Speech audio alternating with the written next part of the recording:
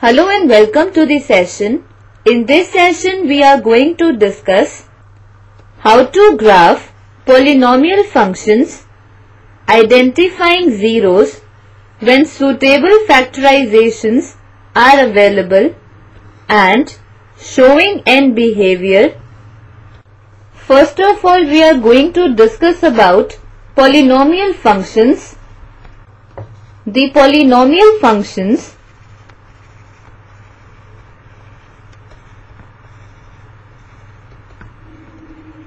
are of the form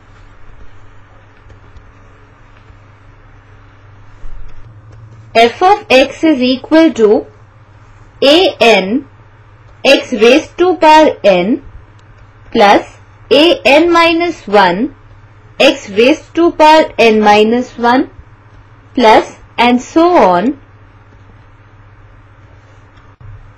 plus a1x plus a naught where n is a non-negative integer and an, an minus 1 and so on up to a naught are coefficients which are real numbers. Now, degree of the polynomial is the highest value of n where an is not equal to 0. Now let us discuss how to graph a polynomial function. The first step is find zeros of the given function that is we need to find the x-intercepts. Now in the second step we have to find the y-intercept. Now in the third step we need to determine the end behavior. For determining end behavior you have to take degree n and leading coefficient A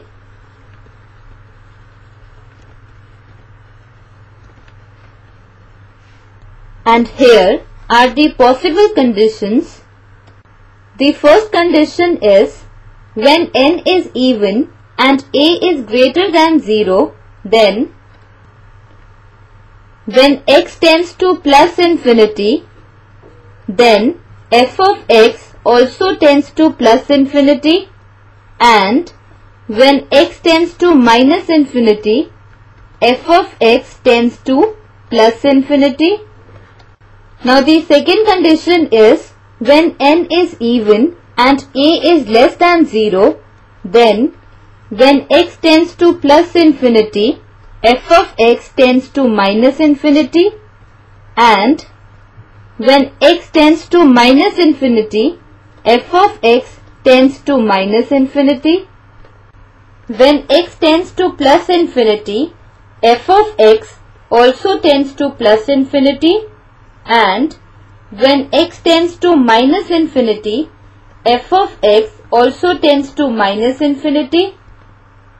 And the fourth condition is when n is odd and a is less than 0, then if x tends to plus infinity, f of x tends to minus infinity and when x tends to minus infinity, f of x tends to plus infinity. And then we sketch the polynomial function by using above steps and by making table of values now let us discuss some examples. Now if you have to graph the function given by f of x is equal to x square plus 3x, to graph this polynomial function, we will follow some steps and in the first step we shall find x-intercepts. Now to find x-intercepts, we equate this function to 0 and solve this function for x. Now taking x common from these two terms we get x into x plus 3 the whole is equal to 0 which implies that x is equal to 0 and minus 3. Now in the second step, we shall find y-intercept.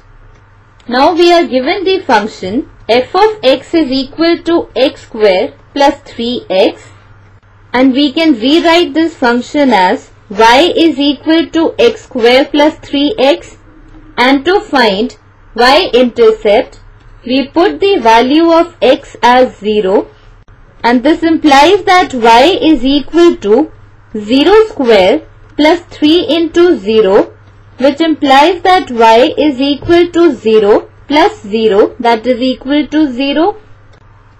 So, y-intercept is equal to 0. Now in the third step, we shall determine the end behavior of the function f of x is equal to x square plus 3x. Now in this function, we see that n is equal to 2 and a is equal to 1. Now here n is even and a is equal to 1 which is greater than 0 and we know that when n is even and a is greater than 0 then as x tends to plus infinity f of x tends to plus infinity and as x tends to minus infinity, f of x tends to plus infinity. Now in the next step, we shall make table of values. Now here in the first column, we have randomly taken x values as 0, minus 1, minus 2, minus 3, 1, minus 4. And now we shall find out the values of y for these corresponding values of x. Now here we are given the function f of x is equal to x square plus 3x which can also be written as y is equal to x square plus 3x. So for x is equal to 0, y is equal to 0 square plus 3 into 0 which implies that y is equal to 0 plus 0 that is equal to 0. So for x is equal to 0, y is equal to 0. Similarly, for x is equal to minus 1, y is equal to minus 1 whole square plus 3 into minus 1 which implies that y is equal to 1 minus 3 that is equal to minus 2 so for x is equal to minus 1, y is equal to minus 2. Similarly, we shall find values of y for the remaining corresponding values of x and we have found for x is equal to minus 2, the value of y is equal to minus 2. For x is equal to minus 3, y is equal to 0. For x is equal to 1, y is equal to 4 and for x is equal to minus 4, y is equal to 4. Now we shall plot these points on the coordinate plane and we get the following graph. Now here we can see that the x-intercepts are given by the points 0 and minus 3. Also the y-intercept is given by the point 0. Also we can see that as x tends to plus infinity, f of x tends to plus infinity and as x tends to minus infinity, f of x tends to plus infinity and this is the required graph of the function f of x is equal to x square plus 3x now let us consider another example. Here we have to graph the function f of x is equal to x cube minus 9x. Here also we will follow the same procedure. So now in the first step we shall find x-intercepts and to find x-intercepts we equate this function to 0 and solve it for x. Now taking x common from both these terms, we get x into x square minus 9 the whole is equal to 0 which further implies that x into now here applying the formula of a square minus b square that is equal to a plus b the whole into a minus b the whole we can write x square minus 9 as x square minus 3 square that is equal to x plus 3 the whole into x minus 3 the whole. So here we can write it as x into x minus 3 the whole into x plus 3 the whole is equal to 0 which further implies that x is equal to 0, 3 and minus 3. Now in the second step we shall find y-intercept.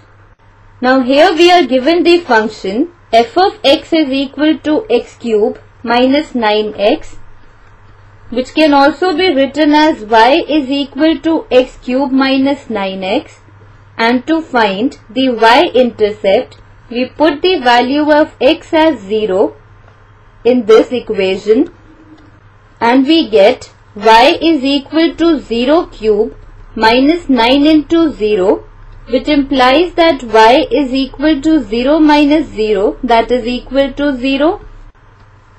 So, y-intercept is equal to 0. Now in the third step, we shall determine the end behavior of the given function that is f of x is equal to x cube minus 9x. Now here n is equal to 3 which is odd and a is equal to 1 that is greater than 0 and we know that when n is odd and a is greater than 0 then as x tends to plus infinity f of x also tends to plus infinity and as x tends to minus infinity f of x also tends to minus infinity. And now in the last step we shall make table of values. Now here in column 1 we have randomly taken the x values as 3, 2, 0, minus 2, minus 3 and in column 2 we will write the y values for the corresponding x values. For x is equal to 3, y will be equal to 3 cube minus 9 into 3 which implies that y is equal to 27 minus 27 that is equal to 0. So for x is equal to 3, y is equal to 0. Similarly, we shall find the remaining values of y for the corresponding values of x and we have found for x is equal to 2, y is equal to minus 10. For x is equal to 0, y is equal to 0. For x is equal to minus 2, the value of y is 10. For x is equal to minus 3, y is equal to 0. Now, plotting these points, we get this graph of the function f of x is equal to x cube minus 9x. Here we see that x-intercepts are given by the points minus 3, 0 and 3 and y-intercept is given by the point 0 and we see that as x tends to plus infinity, f of x also tends to plus infinity and as x tends to minus infinity, f of x also tends to minus infinity. So this is the required graph of the function x cube minus 9x.